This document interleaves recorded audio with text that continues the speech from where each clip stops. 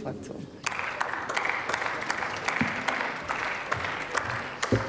Sehr geehrte Frau Präsidentin, sehr geehrte Damen und Herren! Der Antrag der Linken gibt uns heute die Möglichkeit, über die Erfolge der Arbeitsmarkt- und Sozialpolitik der Großen Koalition zu sprechen. So sehe ich Ihren Antrag, der ja in einigen Punkten, in dem Fall sind es sieben Politikfelder, Defizite benennt aus Ihrer Sicht. Ich finde den zum Teil ähm, sehr einseitig, sicherlich aus der Sicht eines Unionspolitikers, wenn man ja auch gerade betrachtet, wie sich die Wirklichkeit darstellt. Ich möchte gerne einfach mal darstellen, wie die Entwicklungen bei mir im Wahlkreis Berlin-Lichtenberg im Berliner Osten waren. Wir haben die Wiedervereinigung erlebt und danach die sozialen und gesellschaftlichen Umbrüche. 2005 auf dem Höhepunkt war die Arbeitslosenquote bei mir im Wahlkreis bei 17,3 Prozent. Und damals hat sich die rot-grüne Koalition durchgerungen, mutige Arbeitsmarktreformen umzusetzen mit Unterstützung der Union. So ist die Arbeitslosenquote von damals 17,3 Prozent im Jahresdurchschnitt 2013 auf 10,8 Prozent gefallen.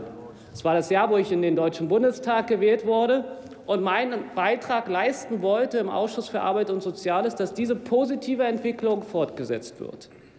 Und wenn wir dann gucken, im Jahresdurchschnitt 2016 ist die Arbeitslosenquote in Lichtenberg noch bei 8,5 Prozent. 8,5 Prozent bedeuten, wir müssen uns um diejenigen kümmern, die immer noch Arbeit suchen. Im gleichen Zeitraum gab es die positive Entwicklung bei der Jugendarbeitslosigkeit. Die ist im Jahresdurchschnitt 2013 von 10 Prozent auf jetzt 8 Prozent gesunken. Also höchst erfreuliche und positive Zahlen.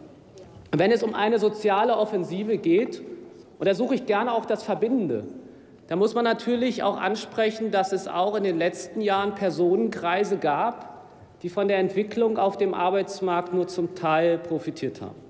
Dazu gehören Langzeitarbeitslose, die in Lichtenberg mittlerweile einen äh, großen Anteil annehmen, die leider Gottes nicht so einfach in Arbeit integriert werden konnten.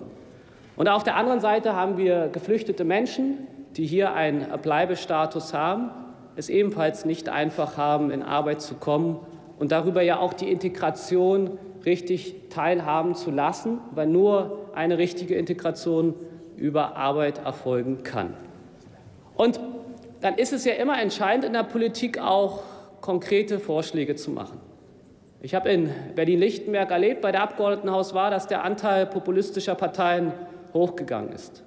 Auch deswegen haben wir uns entschieden, ein Pilotprojekt in Lichtenberg auf den Weg zu bringen. Das nennt sich das Tandem-Job-Programm. Das Tandem-Job-Programm integriert immer einen Langzeitarbeitslosen zusammen mit einem Flüchtling in Arbeit.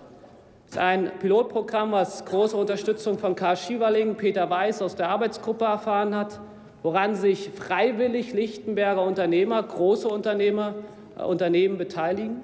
Das Königin Elisabeth Herzberge Krankenhaus, ein großes Hotel, das Abacus Tierpark Hotel, äh, Unternehmen aus der Sicherheitsbranche, genauso wie auch soziale Unternehmen wie die Kiezküchen. Insgesamt werden so 20 Personen über die Möglichkeiten, die es schon heute gibt, der FAV, in Arbeit integriert.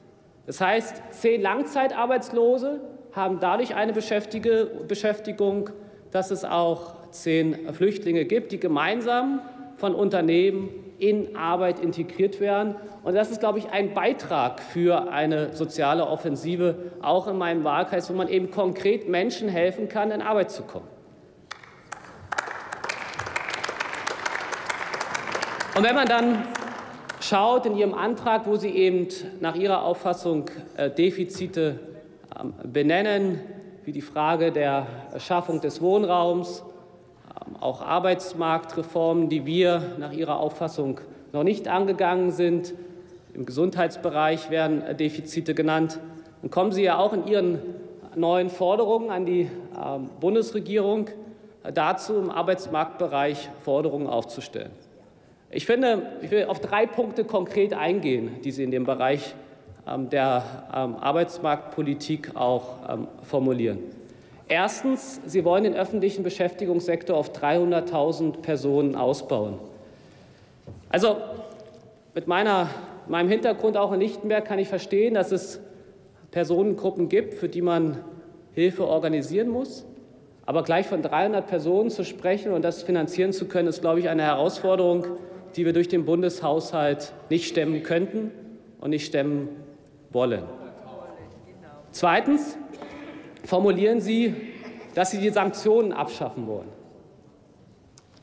Bei jungen Menschen, das will ich hier ganz offen sagen, da gibt es ja auch bei uns Diskussionen, ob das immer so hilfreich ist, wenn die Personen dann aus den Hilfesystemen fallen.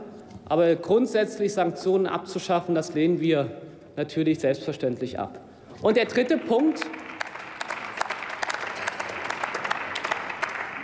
der dritte Punkt bei Ihnen ist es, und das führt die Gesellschaft eben nicht zusammen, ist es, eine Sonderabgabe von 0,5 Prozent einführen zu wollen für die Arbeitgeber, um eben den Abbau der Langzeitarbeitslosigkeit zu bekämpfen.